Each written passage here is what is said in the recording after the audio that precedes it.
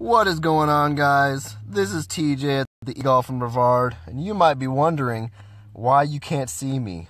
Well, that's because I am in the back of a trunk right now, showing you guys how to work that and everything like that. So, let me flip the lens around real quick, real quick.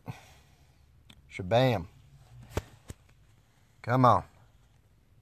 Let me, let me, let me, uh, uh. There we go. As you can see, there's a glow in the dark latch in the back of this trunk.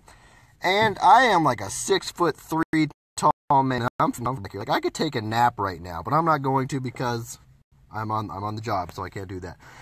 But yeah, as you see, I'm just gonna pull this real quick and it's gonna pop right open. Shabam, there's like Ugh, the alarm went off, but that's okay. Ugh. All right, hold on. Let me just cut the alarm off. Stop. There we go. All you gotta do is tell it to stop. All right. So I let me flip the lens back around. Woo! Come on, come on. Wow, this thing is not responding. There we go. So I am like a six foot three tall man, and I fit in the back of here real easily. I mean, it was comfortable. I mean, just give me a snuggie, and I'll stay back there for about two hours to get a nice nap in. But anyway, yeah, I'm just this basically is just to show you all the room, and this is just a 2014 Ford Fusion trunk storage. Um, and this is a later model, so you know in the older models they have, you know, a lot more room and everything like that. So yeah, this is TJ at the Egolf from Brevard, and uh, I'll talk to you guys later.